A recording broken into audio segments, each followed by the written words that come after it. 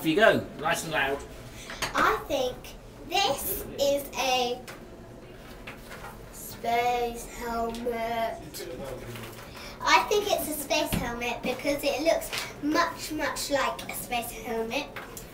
And I think it would be made out of metal. I think this to um, do it like on the back here.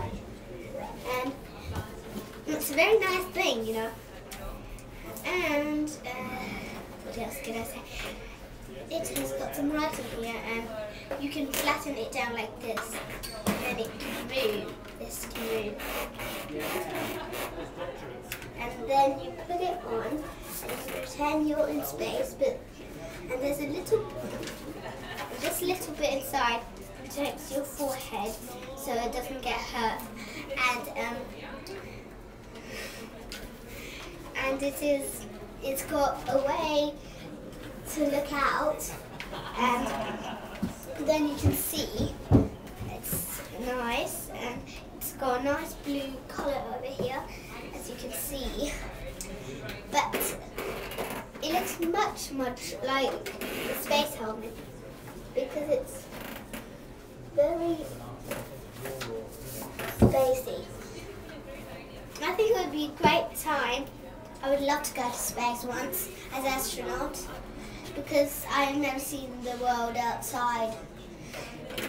I have seen the skies and the moon and stars, but I haven't seen um, and, star, and the sun. But I haven't seen what haven't I seen? I haven't seen the moon actually standing on the moon and the earth outside of it, the crust. Is very nice to wear. It feels very comfortable. It feels like if you're walking everywhere and I really like it. I think it was supposed to be made out of metal, but it looks more like to be made out of plastic. And it's a very nice thing. Do you?